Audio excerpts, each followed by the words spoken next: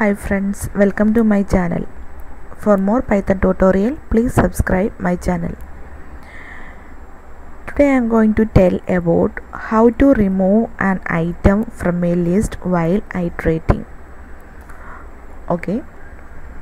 Mm, you can use Python shell for execute the Python code but here I am using Jupyter notebook to execute this Python code okay? And this is the simple code for remove item from a list while iterating. Okay? Let's start. X equals range of 10 this is the code for create a simple list and that list contains the values 0 to 9 and next print x. Okay this is our list. You can see 0 to 9 it contains 0 to 9 okay. Here I am going to remove some of the elements. That is remove an even numbers from this list.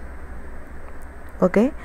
And it contains the even numbers 0 2 4 6 8 okay.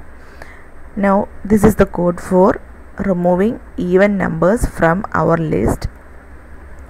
For i in x if i modulo 2 equal to equal to 0 then remove x dot remove i.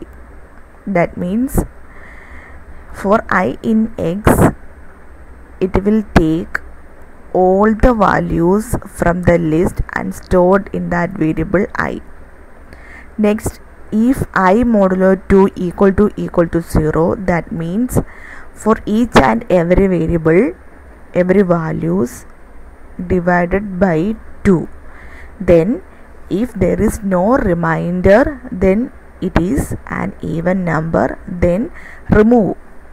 For removing the values from the list we can use the method remove the name of the list dot remove of that variable i.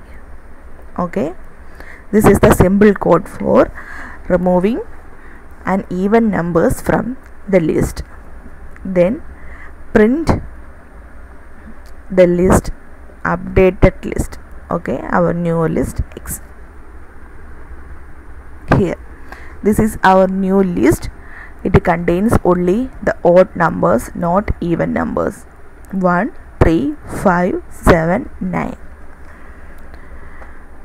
okay. For removing values from the list we can use the method remove.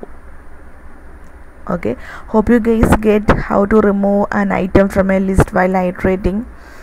If you like my video please subscribe for more python tutorial. Thank you